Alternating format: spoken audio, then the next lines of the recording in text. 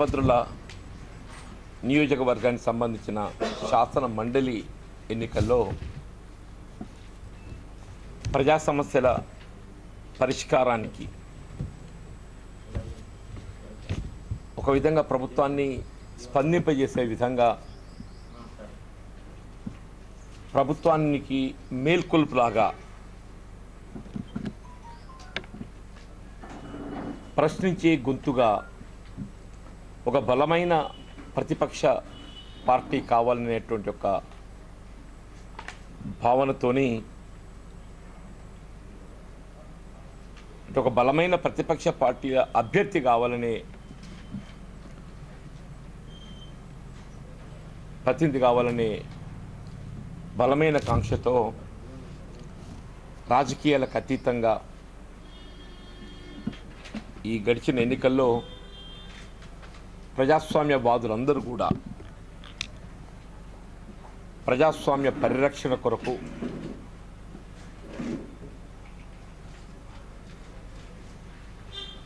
నాకు మద్దతు తెలిపినందుకు ఎన్నికల్లో గెలుస్తానని మొదటి కౌంట్లోనే గెలుస్తానని విశ్వాసంతో అందరికి హృదయపూర్వకంగా ధన్యవాదాలు చెప్తున్నాను నేను. దాంతో పాటుగా రేపు రాబోయేటటువంటి పార్లమెంట్ ఎన్నికలకు సంబంధించి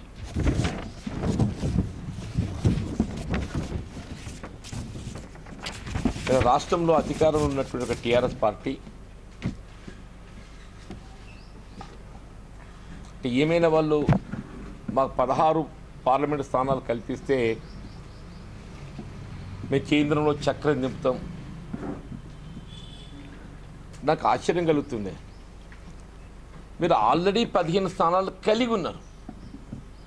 ఆల్రెడీ మీరు పదిహేను స్థానాలు కలిగి ఉన్నారు. ఫిఫ్టీన్ ప్లస్ వన్ ఎంఐఎం మీరు పదిహేను స్థానాలు కలిగి ఉండి గడిచిన నాలుగున్నర సంవత్సరాలుగా తింపిన చక్రమైంది? రేపు పదహారు స్థానాలు కల్పిస్తే తింపపోయి చక్రమైంది అని చెప్పంటున్నాను బహుశా నేను అనుకుంటున్న ప్రజా జీవితం అనుభవంలో ఇంత వైఫల్యం చెందినట్టు ఒక రాజకీయ పార్టీ ఇంకెక్కడ కూడా చూడలేని చెప్పండి. ఇంత వైఫల్యం చెందిన రాజకీయ పార్టీ. ఇప్పుడు మీరు కొత్తగా హక్కుల సాధన పక్కన పెట్టండి. కనీసం రాష్ట్ర పునర్విభజన చట్టంలో పేర్కొన్నటువంటి అంశాలను కూడా మీరు సాధించలేకపోయారు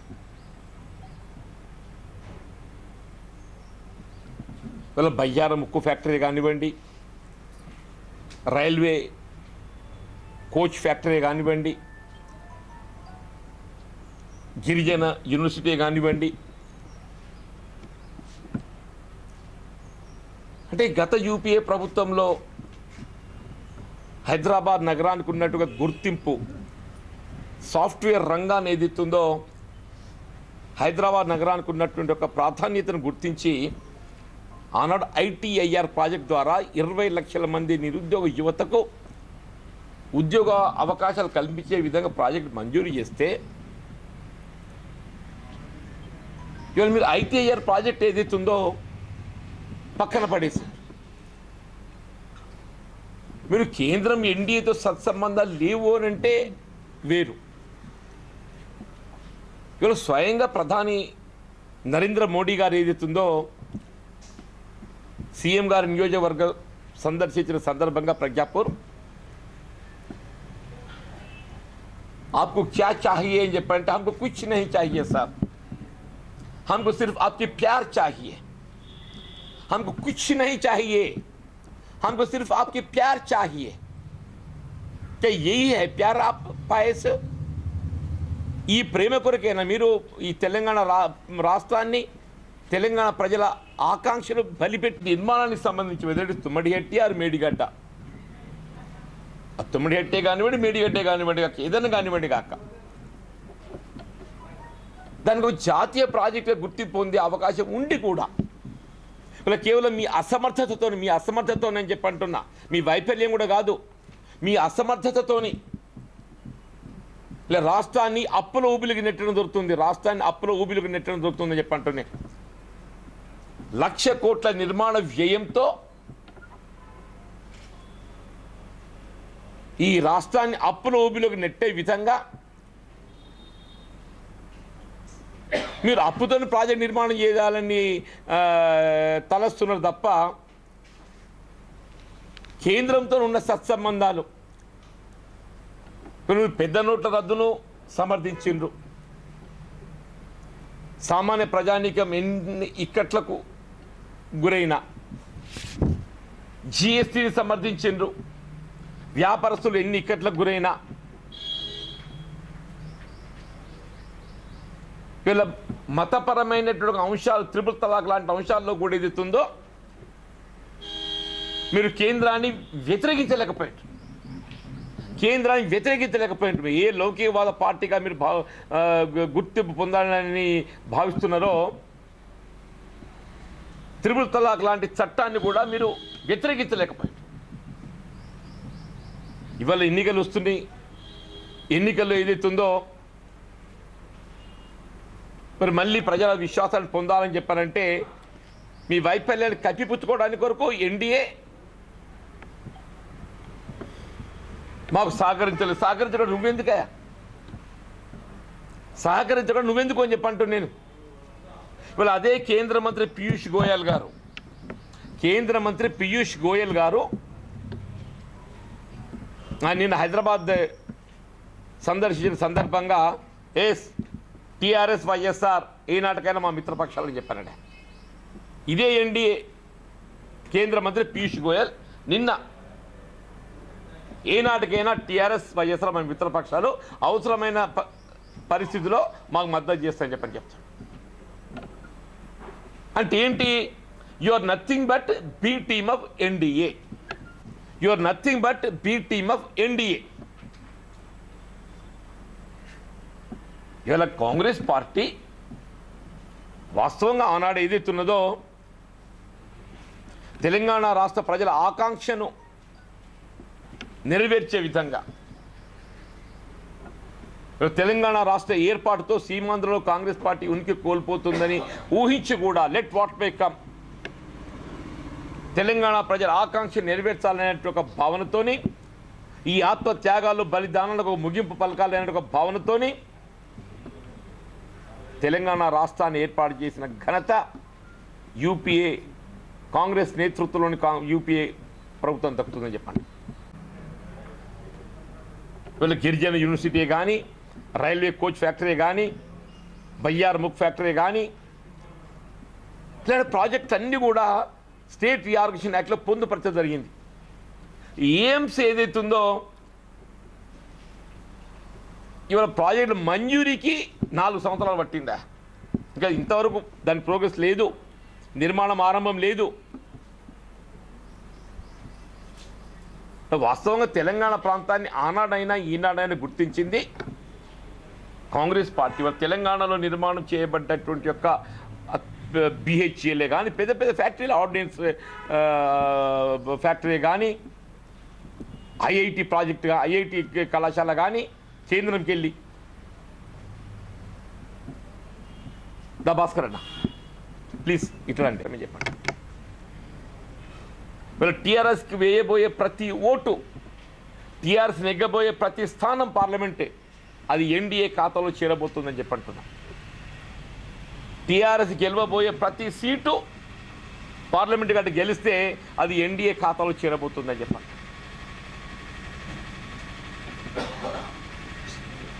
ఇవాళ మన నిజామాబాద్ పార్లమెంట్ స్థానానికి సంబంధించి టీఆర్ఎస్ పార్టీ అభ్యర్థి లోపల జ్యోతి డిస్ట్రిక్ట్ వచ్చింది ఇక్కడ. ప్రాంతాన్ని ప్రాతినిధ్యం వహించింది. ఈ ఐదు సంవత్సరాలలో మీరు నెరవేర్చిన వాగ్దానాలు ఏంటి? బేసిక్గా sugar factory Mallapur sugar factory. వంద రోజుల్లో మీరు ఫ్యాక్టరీ తెలిపి ప్రభుత్వ పరంగా దాన్ని నిర్వహణ చేస్తామని చెప్పారు. తెలిపించడం కాదు. వంద రోజుల్లో ప్రభుత్వ పరంగా దాన్ని నిర్వహణ యాజమాన్యం చేస్తామని చెప్పినారు ఇట్ వాజ్ రన్నింగ్ ఫ్యాక్టరీ ఒకటి ఏంటంటే యాభై ఒక్క శాతం వాటాతో ప్రైవేట్ యాజమాన్యంలో కొనసాగుతున్నటువంటి ఒక మల్లాపూర్ షుగర్ ఫ్యా బెట్పల్లి షుగర్ ఫ్యాక్టరీ. దాన్ని ప్రైవేట్ యాజమాన్యం నుండి తప్పించి ప్రభుత్వ పరంగా మీరు నిర్వహణ నిర్వహణ చేస్తామన్నారు. ప్రభుత్వ పరంగా నిర్వహణ చేయడం పక్కన పెట్టండి. అసలు ఉన్న ఫ్యాక్టరీ మూతపడ్డదే మీరు ఇక్కడికి వెళ్ళి చెరుకు గాను ఆడించడానికి రవాణా ఛార్జీలతో గాయత్రికి పంపిస్తున్నారు. అసలు మీకు గాయత్రితో ఉన్నట్టు ఒక ఒప్పందం ఏంటి అంటున్నాను. మీకు గాయత్రితో ఉన్నటువంటి చీకటి ఒప్పందం ఏంది అని చెప్పి వంద కోట్లయితే ఫ్యాక్టరీ పూర్తి స్థాయిలో కొనసాగుతుంది. నడవగలుగుతాయి ఓన్లీ హండ్రెడ్ కరోడ్స్. పసుపు పసుపు బోర్డు. సరే పసుపు బోర్డు పక్కన పెట్టండి అమ్మా. అసలు పసుపు ఏదైతుందో ఈ గిట్టుబాటు ధర లభించకపోవటానికి గిట్టుబాటు ధర కల్పన కొరకు ఏదైతుందో రాష్ట్ర ప్రభుత్వంలో మీరు చేపట్టే చర్యలు ఏంటి మీరు ధర స్థిరీకరణ కొరకు ఏదైతుందో ధరల స్థిరీకరణ కొరకు రాష్ట్ర ప్రభుత్వము నిధులు కేటాయింపు చేసి మేము రైతును ఆదుకుంటామని చెప్పని మీ మొదటి బడ్జెట్ సమావేశంలో పేర్కొన్నది. ఎనిమిది వందల కోట్లు పెట్టిండయా మొదటి బడ్జెట్ సమావేశం ఎనిమిది రూపాయలు ఖర్చు పెట్టలేదు మీ పసుపోడు పక్కన పెట్టండి. నేనేమంటున్నా క్వింటల్కు రెండు వేల రూపాయలు బోనస్ ఇవ్వా క్వింటల్కు రెండు వేల రూపాయలు బోనస్ ఇవ్వంటున్నా నేను. ఇదైతే మీ చేత పని కదా ఇది? దీని కేంద్రానికి సంబంధం లేదు కదా ఇది? గతంలో అంటే రాష్ట్ర విడిపోయిన తదుపరి ఏపీ గవర్నమెంటే పసుపుకు గిట్టుబాటు ధర కల్పించడానికి పదిహేను వందల రూపాయల క్వింటల్ బోనస్ ఇచ్చింది. ఆంధ్ర రాష్ట్రం ఏదైతుందో పసుపుకు గిట్టుబాటు ధర కల్పన కొరకు క్వింటల్కు పదిహేను వందల రూపాయల బోనస్ ఇచ్చింది. నేనేమంటున్నా మీరు పసుపు బోర్డు ఏదైతే ఉన్నదో సరే మీరు డిమాండ్ చేస్తున్నారు కేంద్రం సత్తా అందిస్తలేదు మీరు ఎన్నిసార్లు పార్లమెంట్ అంశాలు లేవనెత్తారు అదంతా పక్కన పెట్టండి. ఓ రెండు వేల రూపాయలు మీరు బోనస్ ఇప్పియండి. ఇదేదో మీ చిత్ర పని కదా ఇది. అది లేదు. మాకు ఈ లక్ష్మీపూర్లో ఏదైతే ఉందో సీడ్ ప్రాసెసింగ్ యూనిట్ అని చెప్పని ఆదరా బాదరాగా శంకుస్థాపన చేసిండే సంవత్సర కాలం గడుస్తుంది సంవత్సర కాలం గడుస్తుంటే ఇంతవరకు దాని టెండర్ ప్రక్రియ లేదు. టెండర్ ప్రక్రియ లేదని చెప్పండి సంవత్సర కాలం గడుస్తుంది. నీకు ఉదాహరణ కొన్ని మత్తుతురుగలు చెప్తున్నా అంటూ కొన్ని మత్తుతురుగలు చెప్తున్నాయి. ఇక రోలవాగు ప్రాజెక్ట్ ఆధునీకరణ అని చెప్పని పాయింట్ టూ ఫైవ్ టీఎంసీ ఉన్న నీటి సామర్థ్యాన్ని ఒక్క టీమ్స్ ఇస్తున్నాం చెప్పండి. అసలు పాయింట్ టూ ఫైవ్ టీఎంసీ నిండిన దాఖలాలు లేవు. పాయింట్ టూ ఫైవ్ టీఎంసీ నిండిన దాఖలాలు లేవు అంటున్నా నేను. ప్రస్తావిస్తే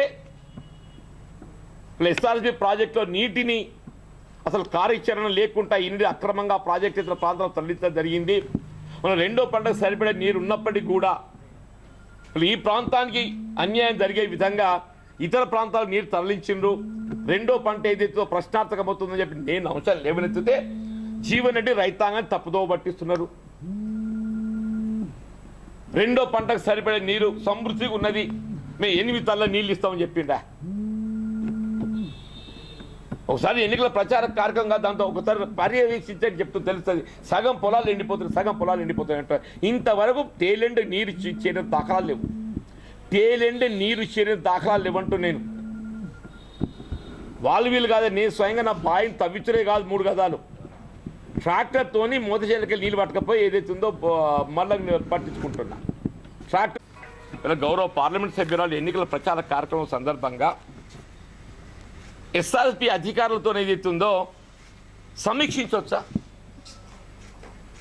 అసలు ఇక్కడ ఎన్నికల నిబంధన నియామాలు అనేది అమలు ఉందా ఇక్కడ జగిత్యాల్లో? వాట్ ఈజ్ హ్యాపెనింగ్ మీరు విజిట్ చేసుకోండి. మీరు ప్రచారం చేసుకోండి.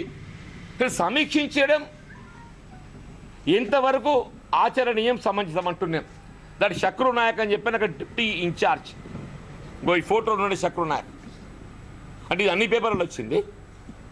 ఒక ఈ పేపర్ అన్ని పేపర్లు వచ్చింది. శక్రు నాయక్ ఏదైతుందో డిప్యూటీ ఎస్ఆర్ఎస్పి ఆ పర్టికులర్ ఈ రోల్ రోలవా ప్రాజెక్ట్ ఇప్పుడు నిర్మాణాన్ని ఆయన ఎగ్జిక్యూట్ చేస్తున్నాడు. ఆయన ఆయన అదన జరుగుతుంది. మరి జిల్లా అధికార యంత్రాంగం ఏం జరుగుతుంది నిన్న కలెక్టర్ గారు అయితే వాళ్ళు చూశాను నేను. మేము చాలా తీవ్రంగా నిబంధన నియమాలు అమలు చేస్తామని చెప్పి అంటుండే. ఎక్కడ తీవ్రంగానే? ఎక్కడ అమలవుతుందని చెప్పి అంటున్నాను నేను. మీ నిబంధన నియమాలు ఎక్కడ అమలుతుంది ఎన్నికల నిబంధన నియమాలు ఎక్కడ అమలుతుందని చెప్పి అంటున్నా.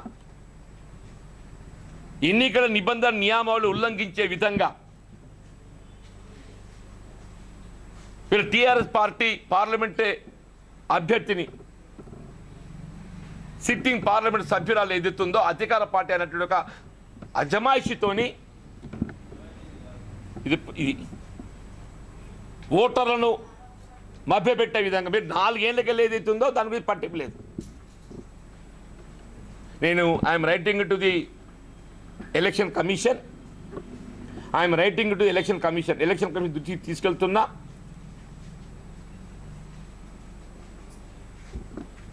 ఇది ఎన్నికల ప్రవర్ ఇలాంటి ఆ మేడం నామినేషన్ దాఖలు చేసి తదుపరి నిన్నటి న్యూస్ ఇది.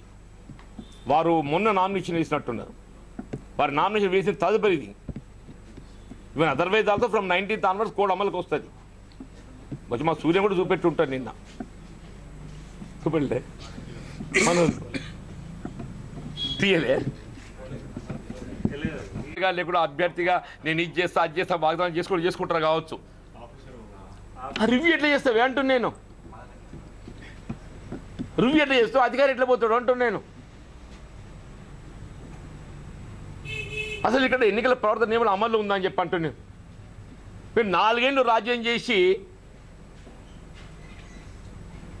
మీరు అమలు చేయక ఇవ్వాలి ఏదైతుందో ఆదరాబాద ఎన్నికలు వచ్చినాయి కదా అని చెప్పని అసలు మీరు ఎస్ఆర్ఎస్పి ప్రాజెక్టు నీటి కల్పన లోపల ఏదైతుందో రైతాంగాన్ని ఇబ్బందులు గురి చేసిండ్రు.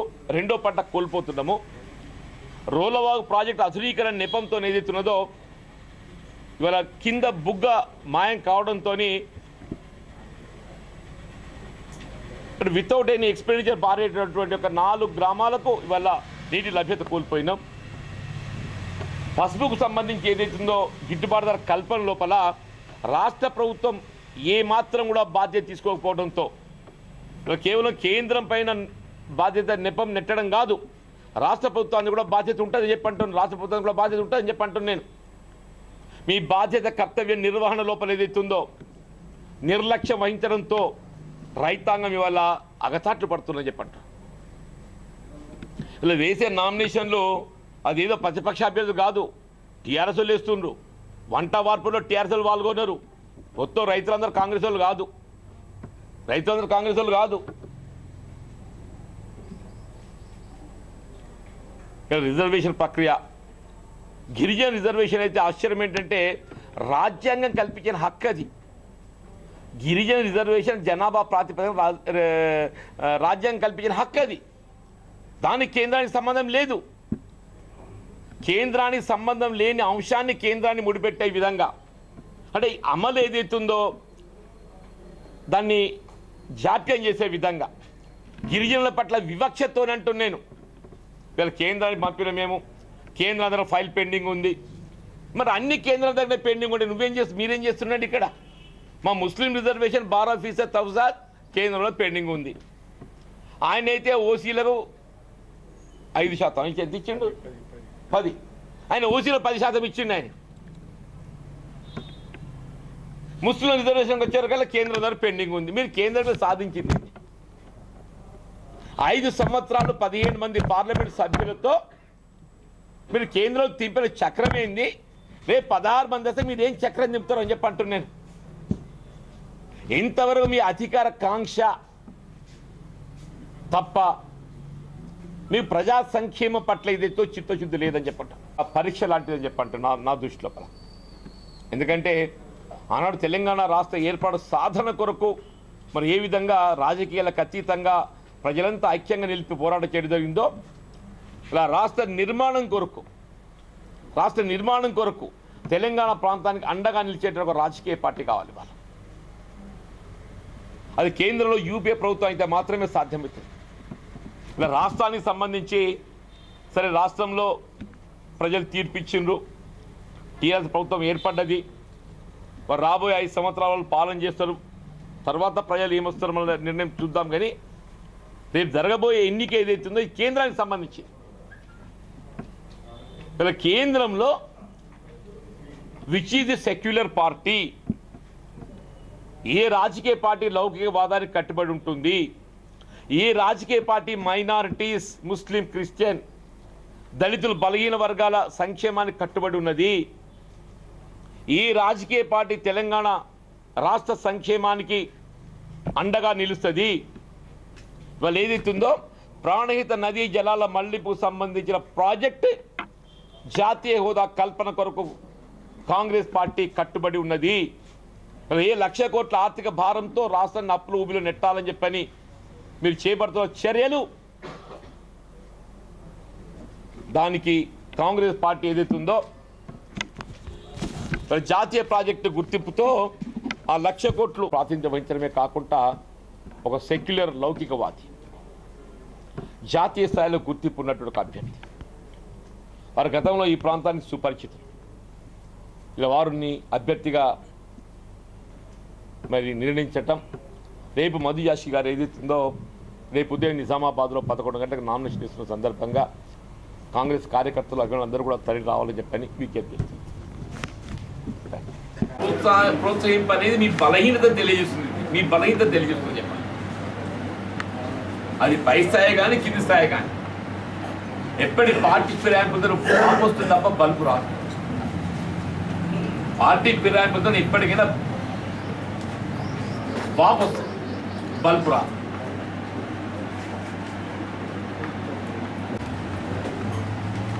no other political party has opposed it.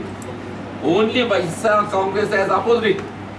అటువంటి రాజకీయ పార్టీ బలోపేతం గెలవాలని చెప్పి నువ్వు కోరుకుంటున్నావు అంటే నీ ఆలోచన విధానం ఏ విధంగా